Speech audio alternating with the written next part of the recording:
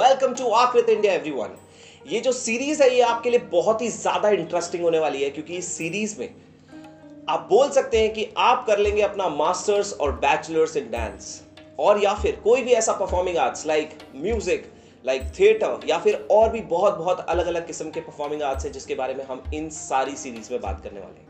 कलापीठ एक बहुत ही amazing concept है क्योंकि ये ऑनलाइन और ऑफलाइन मोड पे और प्रैक्टिकल और थ्योरी मोड पे आपको हर वो चीज़ की इंफॉर्मेशन देगा जो आपको एज एन आर्टिस्ट सीखने की बहुत ज़्यादा ज़रूरत है।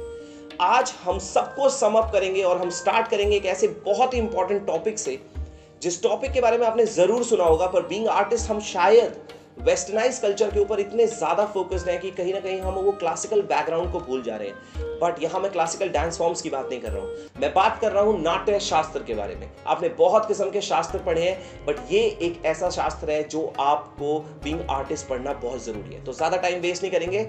चलिए शुरू करते हैं। नाट्य शास्त्र एक डिटेल्ड हैंडबुक है ऑन ड्रामेटिक आर्ट्स इसमें हर वो इंफॉर्मेशन मौजूद है जो हम क्लासिक संस्कृत थिएटर में पढ़ना चाहते हैं उसके बारे में जानना चाहते हैं। ये सबसे ज़्यादा ओल्डेस्ट टेक्स्ट है जो अभी भी मौजूद है और इसको लिखा है ग्रेट इंडियन ड्रामेटिस्ट ने एंशियंट टाइम्स में। इसको कहा जाता है poetic of Indian drama also इन सारी बातों को करने के बाद अब हम फाइनली आ जाते हैं इसके ओरिजिन में, जिसको जानना बहुत ज़रूरी है कि नाट्य शास्त्र का ओरिजिन हुआ कैसे। इसके बारे में कोई बहुत ज़्यादा इंफॉर्मेशन तो ना गूगल पे, ना किसी भी ऐसे सोर्सेज में अभी तक कहीं पर भी लिखी गई है। मगर इसके पीछे एक बहुत ही प्रचलित कहानी मौजूद है, जिसको मैं आप सबके साथ शेयर करना चाहता हूँ, और वो बहुत ही ज़्यादा इंटरेस्टिंग भी है। एक बार क्या होता है कि बहुत सारे देव मिलकर ब्रह्मा के पास जाते हैं। ब्रह्मा, जिनको मैं आज यहाँ मेंशन करूँगा एज अ गॉड ब्रह्मा के पास जाते हैं और उनसे एक बात करते हैं कि वो कुछ ऐसा क्रिएट करें जिससे उनकी लाइफ में सारी चीज़ों की प्रॉब्लम सॉल्व हो जाए।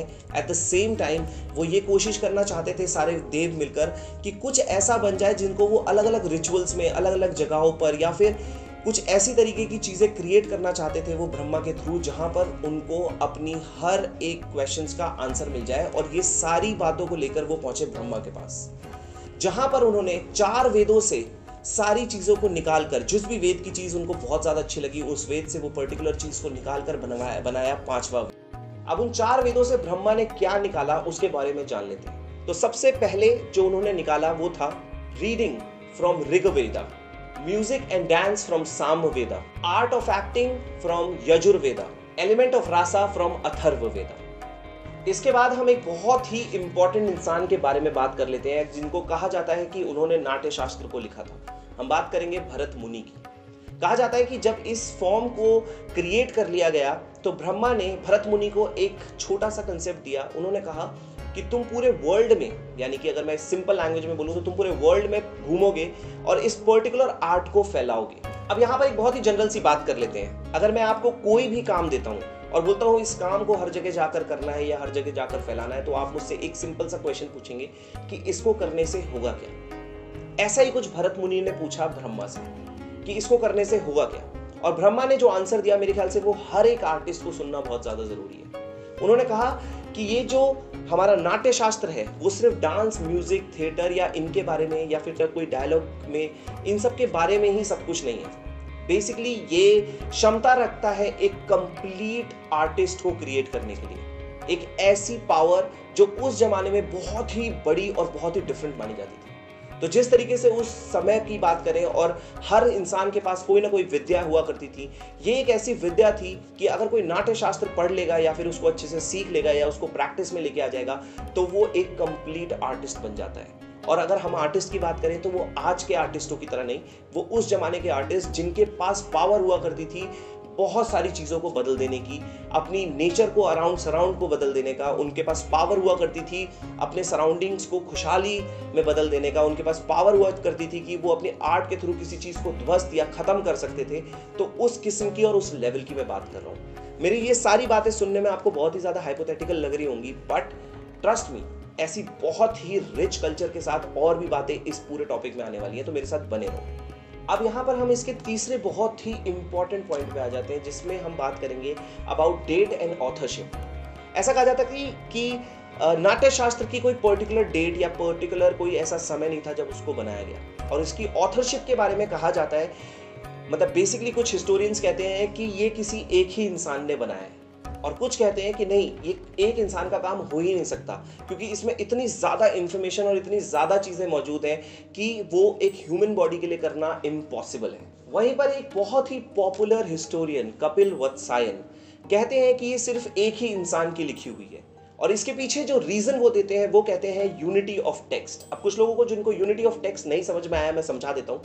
बेसिकली जो फ़र्स्ट चैप्टर है, जो उसके बाद का चैप्टर है, उसके बाद का चैप्टर है, और जितने भी चैप्टर्स इस पूरे ग्रंथ में मौजूद है, वो सब चैप्टर्स में कोई ना कोई इंसिडेंट्स या कोई ना कोई टेक्स्ट का यूनिफॉर्मिटी दिख रहा है। यानी कि फ़र्स्ट चैप्टर से कुछ थर्ड चैप्टर की बातें लिंक होती हैं सेकेंड से कुछ फोर्थ की होती हैं फोर्थ से कुछ एट्थ की होती हैं, और इस तरीके से कहीं ना कहीं सब में पूरा यूनिटी ऑफ़ टेक्स्ट है। और इस बेसिस पे वो ये कहते हैं कि ऐसा सिर्फ़ एक ही पर्सन कर सकता है, अगर वो एक पर्सन उस पूरी चीज़ को लिख रहा है। तो जहाँ तक बात ये काफ़ी हद तक सही है, मगर हिस्टोरियंस के डिफरेंट डिफरेंट परसेप्शन हैं और हम एग्जैक्टली exactly कोई एक कंक्लूजन पे नहीं जा सकते। दूसरी जो कंफ्यूजन है, वो ये है कि क्या सच में भरत मुनि ने ही नाट्य शास्त्र को लिखा है?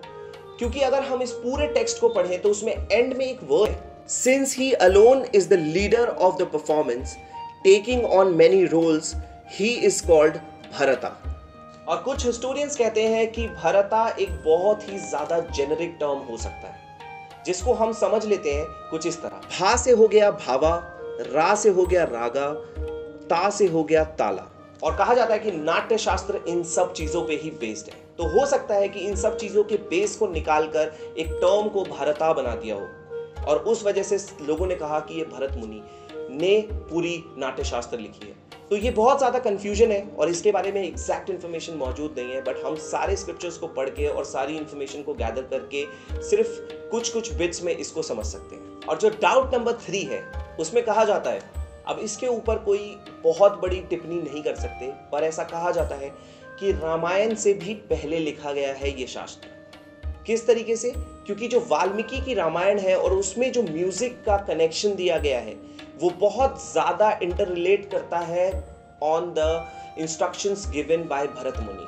तो इस बेस पे ऐसा कहा जाता है कि जो रामायण में यूज़ हुई म्यूज़िक टर्मिनोलॉजीज है, वो भरत मुनि के इंस्ट्रक्शंस पे बहुत ज़्यादा बेस्ड है। और इस बेस पे उसको रामायण से थोड़ा और पुराना माना जाता है। और ये बिलीव करा जाता है कि ये 200 BCE से 200 CE के बीच में लिखी गई है। और इसके साथ हम पहुँच जाते हैं अपने चौथे पॉइंट पर, जो है अबाउट टाइटल एंड सेटिंग्स ये पूरी जो नाट्य शास्त्र है, उसको लिखा गया है संस्कृत में, जिसमें है 6000 सूत्र, जो वर्स में और स्टैंजा में ऑर्गेनाइज्ड है करीबन 35 से 36 चैप्टर्स में। और एक और ही बहुत सिंपल सी चीज़ है, जिसको हम इसी पॉइंट्स के साथ समझ लेते हैं, जिसमें नाट्य शास्त्र में जो नाटक वर्ड आता है, वो कहीं ना कहीं डिनोट करता है थिएटर को।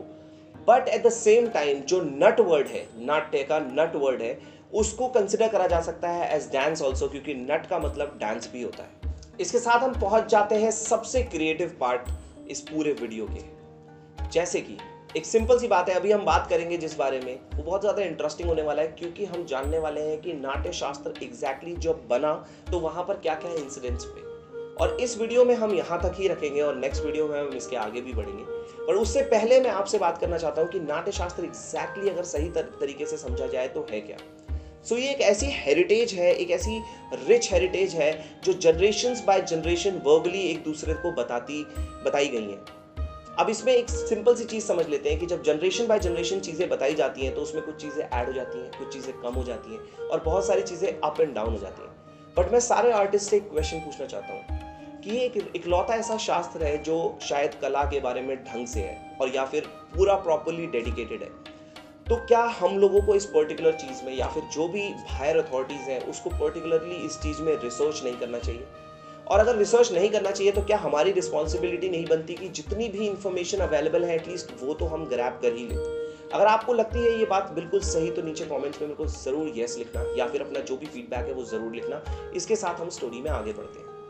तो बात कुछ उतनी पुरानी है कि वहाँ पर कुछ मुनीस, और कुछ मुनि भी नहीं, मैं एग्जैक्ट नंबर्स बताऊँगा, पाँच मुनि एक बार जाते हैं भरत मुनि के पास। और वहाँ से जाके वो उनसे ऐसे पाँच क्वेश्चंस पूछते हैं, जब वो अपनी विद्या को, अपने नाट्य शास्त्र को लोगों को बताने में लगे थे उस समय पर। तो वो पाँच क्वेश्चन हम जान लेते पहला क्वेश्चन था कि नाट्य शास्त्र बना कैसे? ये किसके लिए बना? तीसरा क्वेश्चन था, इसके पार्ट्स क्या क्या हैं? चौथा क्वेश्चन इसकी सीमा क्या है? पांचवा क्वेश्चन इसे कैसे अप्लाई करना है? बहुत ही सिंपल और आम भाषा में आप सबको ये सारी बता दी। आई एम श्योर ये सारी बातें संस्कृत में या उस समय पर जो भी बोली बोली जाती थी, उन सब के वे में हुई होंगी।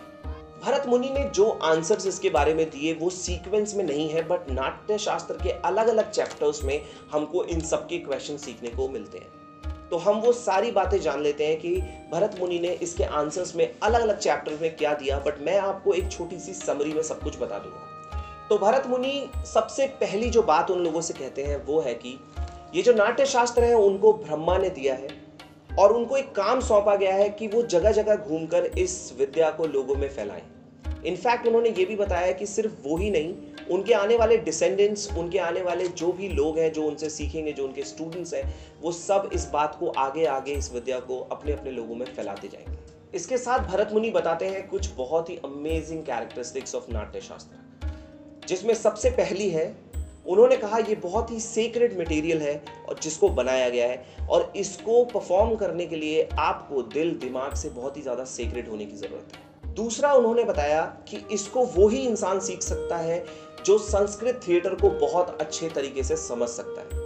तीसरा एक ऐसा पॉइंट है जो बहुत ही कॉन्ट्रोवर्शियल पॉइंट है मेरे पॉइंट ऑफ़ व्यू से बट आपकी इसमें क्या राय है वो आप ज़रूर बताइएगा। तीसरा पॉइंट ये है कि उन्होंने बोला, जो हायर सेक्शन ऑफ़ सोसाइटी है, यानी कि कास्ट सिस्टम के जो हायर सेक्शन में है, यानी पुजारी या यू नो उस तरीके के लोग, वो ही इस प्रैक्टिस को प्रैक्टिस कर सकते हैं। उन्होंने ये भी कहा चौथे पॉइंट में कि कोई भी ऐसा इंसान जिसकी स्किल्स उस लेवल पे नहीं चीज़ों को समझती हैं, वो ये शास्त्र नहीं सीख सकता। पाँचवें पॉइंट में उन्होंने कहा कि जिसको डांस म्यूज़िक और रिचुअल्स की नॉलेज है, सिर्फ़ उसी को ये शास्त्र की, को सीखने की अनुमति मिलेगी। और जो सबसे इंपॉर्टेंट चीज़ जो मेरे ख्याल से हर एक आर्टिस्ट को, हर एक डांस टीचर को समझने की ज़रूरत है, जहाँ पर उन्होंने ये कहा कि ये जो भी सीखा गया है, ये अपने अंदर रखा नहीं जा सकता, इसको आपको लोगों को बांटना ही पड़ेगा। ये रूल बहुत ही ज़्यादा इंपॉर्टेंट है। पॉइंट पे आ जाते हैं जो भरत मुनि ने उनको बताया, और वो ये था कि इस आर्ट को करने के लिए आपको सिर्फ़ और सिर्फ़ पवित्र ग्राउंड में ही करना पड़ेगा। यानी कि आप कहीं पर भी इसको उठ के नहीं कर सकते हैं। आपके को इस आर्ट को प्रैक्टिस करने के लिए, इस आर्ट को डेमोन्स्ट्रेट करने के लिए पवित्र जगह की ही ज़रूरत है। नाउ एक ऐसा पॉइंट जो एक्चुअली मैं खुद भी फॉलो करता हूँ और मुझे लगता है कि वो बहुत ज़्यादा इंपॉर्टेंट है और जो आकृत इंडिया है, उसका चैनल पूरा बेस्ड ही इस चीज़ पे उन्होंने अपने लास्ट पॉइंट में एक बात कही थी, जो बात थी कि आप इस आर्ट को चाहे किसी भी तरीके से परफॉर्म करें, कहीं भी जाके परफॉर्म करें बट एंटरटेनमेंट के साथ इसमें एजुकेशन होना बहुत ज़्यादा मस्त है। और वही हम एक्चुअली ज़रूर फॉलो करते हैं अपने इस चैनल पर इसके साथ हम इस वीडियो के एंड में आ जाते हैं, जहाँ पर हम एंटरटेनमेंट लेवल की वीडियोस बनाते हैं, जहाँ एजुकेशन के साथ आपको एंटरटेनमेंट भी मिल जाए। हम सिर्फ़ और सिर्फ़ डांस वीडियो कॉन्टेंट्स या म्यूज़िक वीडियो का कॉन्टेंट या फिर थिएटर्स का कोई ऐसा प्रोडक्शन वीडियो हम वो ही नहीं डालते। हम हम डालते हैं ऐसी चीज़ें जहाँ से इंडिया एजुकेट हो परफॉर्मिंग आर्ट्स को लेकर और वही हमारा एक्चुअल गोल है। अगर वीडियो आपको बहुत ज़्यादा पसंद आया तो अपने मैक्सिमम आर्टिस्ट फ्रेंड्स को ज़रूर भेज देना। क्योंकि उनके लिए शायद ये वैल्यू थोड़ा और भी क्रिएट करेगा जिस तरीके से ये आपके लिए कर रहा है। इस वीडियो को पहले से ही शेयर करते रहने के लिए, इस वीडियो को इतना ज़्यादा पसंद करने के लिए, और अगर आप यहाँ तक अभी तक टिक गए हो इस वीडियो में तो इस वीडियो को एंड तक देखने के लिए मैं बहुत ज़्यादा थैंकफुल हूँ आप सबके लिए। इसके नेक्स्ट पार्ट में और भी बहुत ही क्रिएटिव चीज़ें हैं, मैं आपको वापस से मिलूँगा। तब तक के लिए मैं चलता हूँ, क्योंकि मेरे को आपके लिए और ज़्यादा मेहनत करके डिफरेंट और इन्फॉर्मेटिव कॉन्टेंट लेके आना है। Signing off peace every take care